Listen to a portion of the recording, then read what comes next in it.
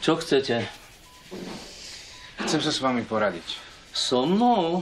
So starým, odporným, cynickým odľudom? Tak asi som zúfalý aj ja. No tak poďte do mňa, Branislav. V poslednom čase sa tu objavili také teórie, že či otca dať alebo nedať do domova seniorov. Ja som za. Čiže vy mi nepoviete, že som hovedo. Nevďačný syn, čo svojho otca bez myhnutia oka odloží do domova seniorov po tom všetkom, čo pre mňa urobil. A čo pre vás urobil? Celý život vám vštepoval, že ste neschopák z inkubátora, že si nemohol kvôli vám vziať Olgu a vzal si vašu mamu. Vy o tom viete? No všetci to vedia. To je pravda.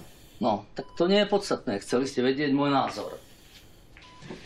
Hej, len som nečakal, že váš názor sa bude zhodovať s názorom mojej frajerky. Tak ja síce nie som mladá pekná blondínka, ale tu na nie o čom. Chcete sexovať v dome nahlas, na linke, v kuchyni? No, veď už máte na to vek. Ja byť e, ako ona, tak tú slobodu a čo s tým súvisí, beriem. Agata povedala. Agáta povedala, keby s ním 14 dní bývala, tak ho sama šupne do starobinca, ešte ho aj nakope do ryti.